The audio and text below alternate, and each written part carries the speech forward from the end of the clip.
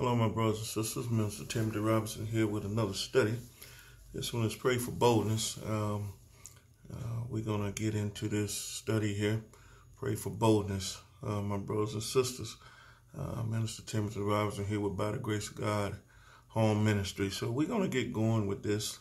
We're going to go ahead and pray and get going. Father Heaven, thank you for another opportunity to come and study the word of truth. We pray as we study together that we are encouraged, that we are enlightened in your holy scriptures, and that when we come away from this study, that we will be edified. We thank you for the gospel, and that is that Jesus Christ died, that he was buried, that he rose again on the third day according to the scriptures. For the word of God says, For the wage of sin is death, but the gift of God is eternal life through Christ Jesus our Lord. We thank you for salvation. In Jesus' name we pray. Amen. Pray for boldness. Uh, Paul says, For we must all appear before the judgment seat of Christ, that everyone may receive the things done in his body according to that he has done, whether it be good or bad. Knowing therefore the terror of the Lord, we persuade men. 2 Corinthians 5 10 through 11 is what I just read. It is this urgency that drives us, as Paul wrote, to persuade men. Lost mankind has to hear the gospel of grace from us. We, as members of the church, the body of Christ, are the only people who can tell the lost world about their need for the Savior, the Lord Jesus Christ.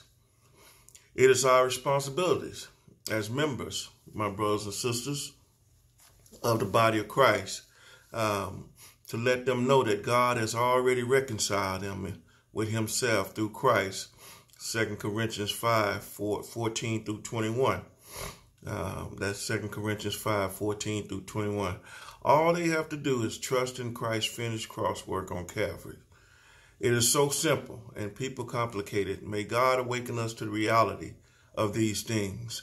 May we see the danger of indulging in the pleasures of the world and of the flesh and of living for self, of neglecting the things of God. I pray that we in the body of Christ will pray for boldness uh, to do the service of Christ in the view of the day when we shall stand before him to give an account. Unfortunately, some Christians are content with simply being saved. I am on my way to heaven. I have trusted that Jesus died for my sins. All I need to know from the Bible, I know. That's that's a lot of uh, saints in the body of Christ uh, mentality. Um, now, please leave me alone. In other words, they never get beyond a gospel message, uh, the gospel, the grace of God. Spiritual growth requires great study and much effort.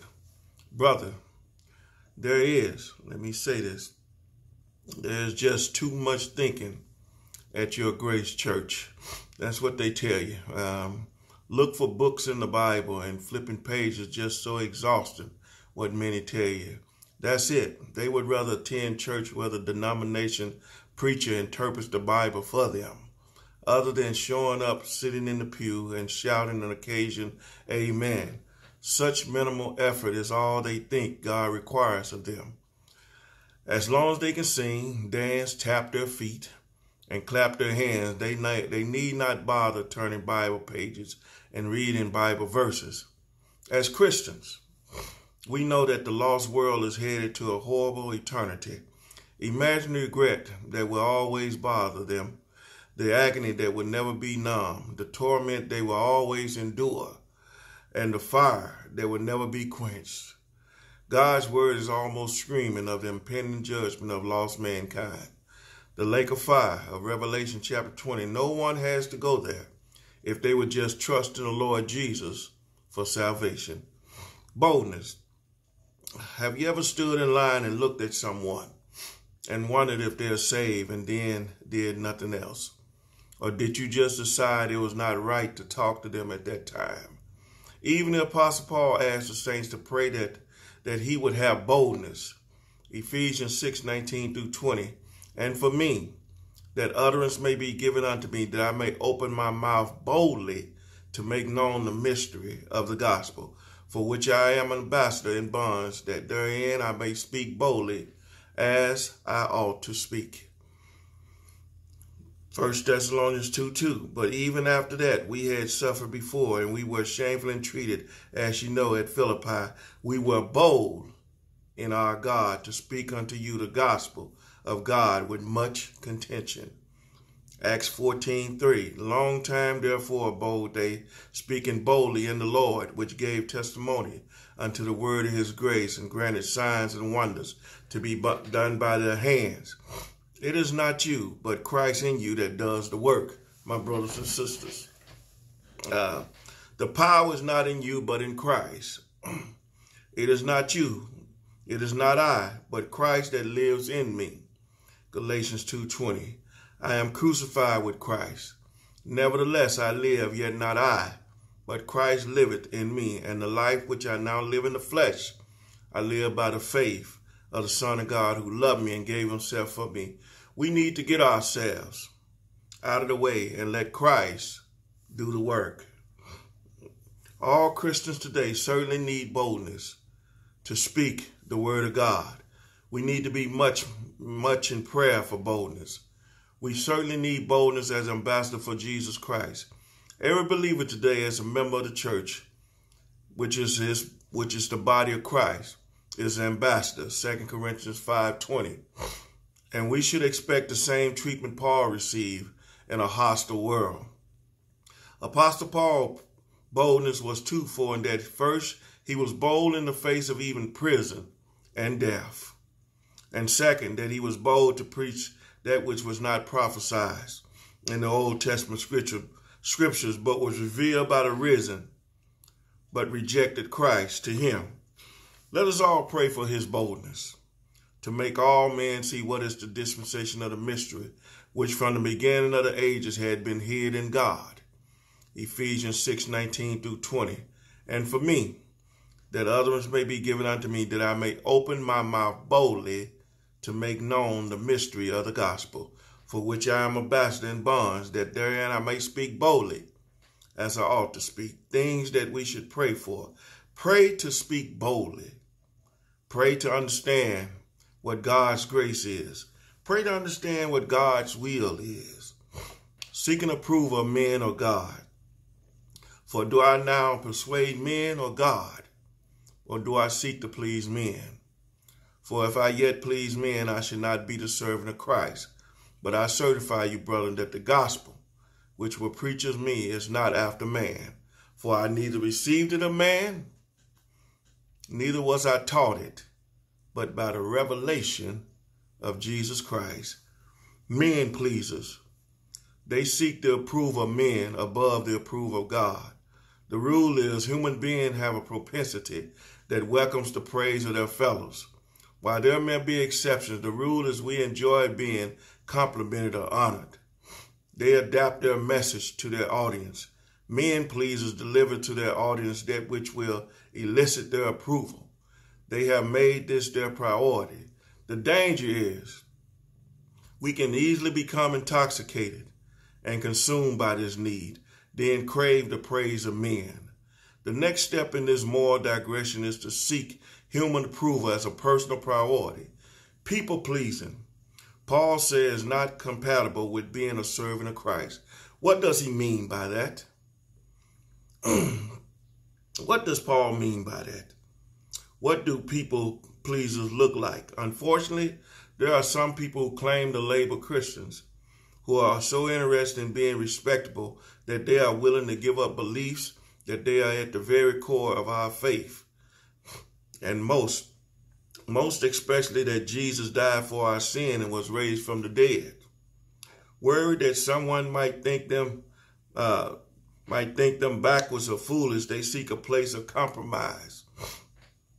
People pleasers are willing to sacrifice even those core statements of faith, sound doctrine for the sake of respectability. As far as Paul is concerned, my brothers and sisters, you can't be a servant of Christ and be willing to take from Scripture what you want and leave the other portions of Scripture that will change the whole course of what you are teaching and preaching. There is nothing indirect about Paul's approach in chapter 1. He has already bluntly stated that some of the Galatians saints have forsaken God by following another gospel. Having outlined the false teachings within the church, he hastened to address the problem which the church seemed to have with him. The Judaizers could not attack the gospel Paul preached without attacking him. This they did by an assault on his character. They alleged that Paul had changed not for the better, but for the worse, and that his message was motivated by a desire to win man's approval rather than God. Such changes, such charges are implied by Paul's statement in verse 10. Paul said, For do I now persuade men or God? Or do I seek to please man? For if I yet please men, I should not be a servant of Christ. The word now appears first in the Greek text, underscoring this emphasis. It centers upon the change in Paul since his conversion. Indeed, it almost begrudges his conversion. The charges infer that Paul once sought to please God, but now he only wishes to please men.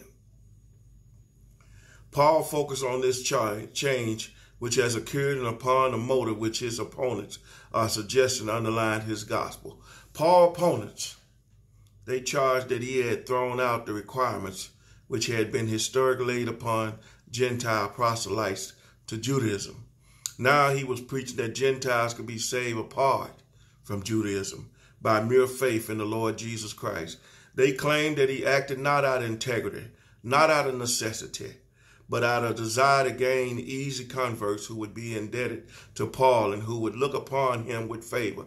Paul's Judaizing opponents were slandering him and had successfully swayed public opinion against him. The substance of their attack on Paul was twofold.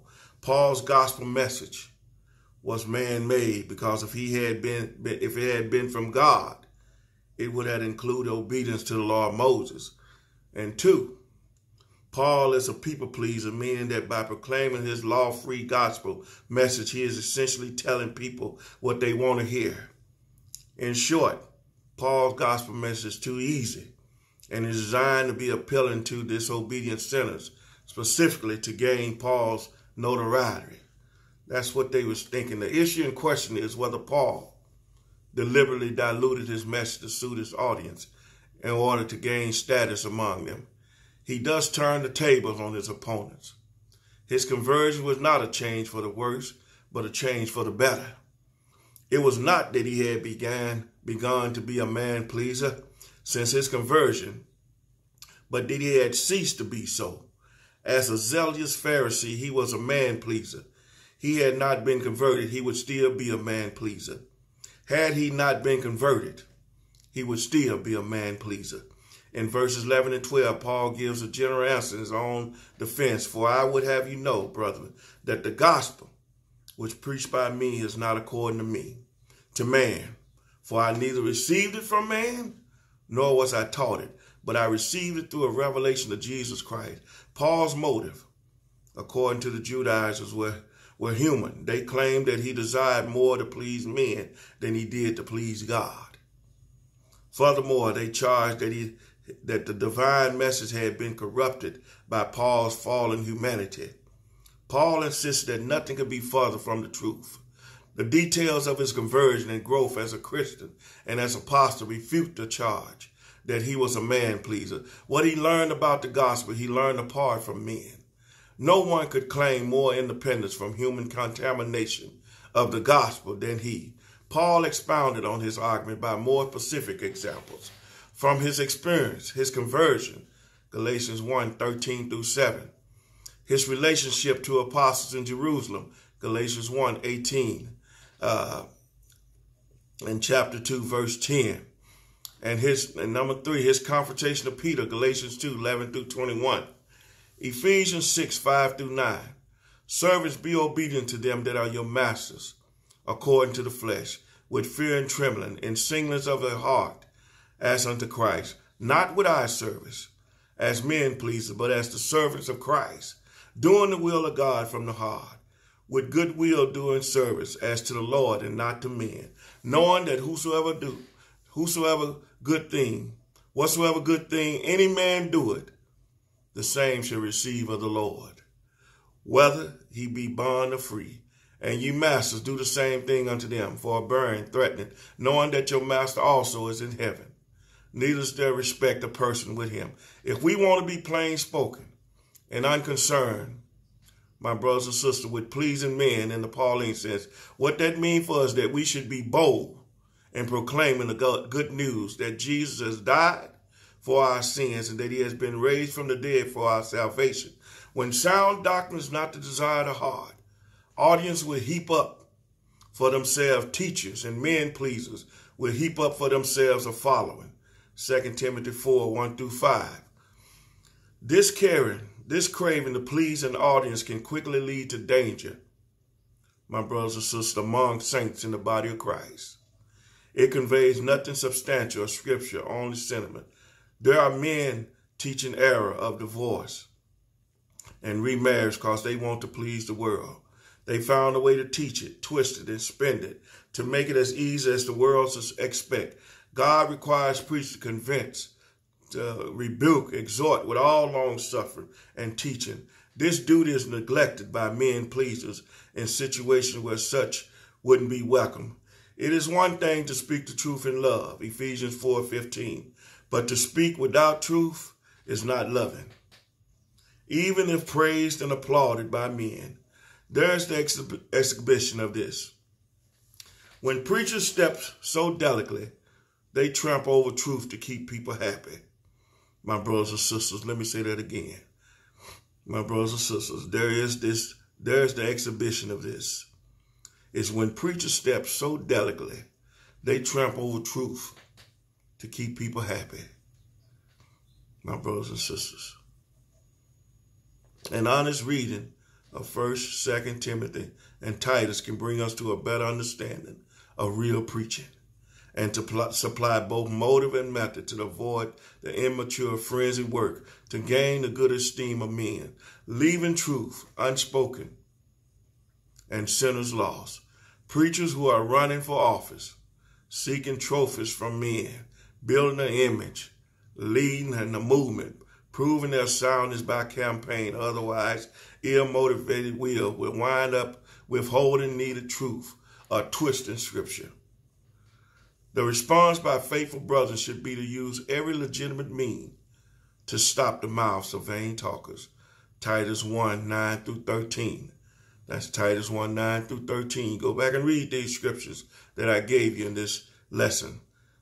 Jude 3. Every preacher need to ask himself the question stated in Galatians 1.10.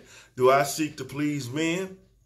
Paul responded, For if I still please men, I will not be a servant of Christ. Get the point. The man pleased in Galatians 1.10 is not a servant of Christ. We should be bold in preaching the word of truth, rightly divided, my brothers and sisters. Pray for boldness. Pray for boldness in this sin, cursed, evil world to stand, to stand on the word of truth rightly divided. We need to pray for boldness because Satan is going to come after us. He's going to come after us in this spiritual warfare if you're standing on God's word rightly divided and you're that ambassador for Christ.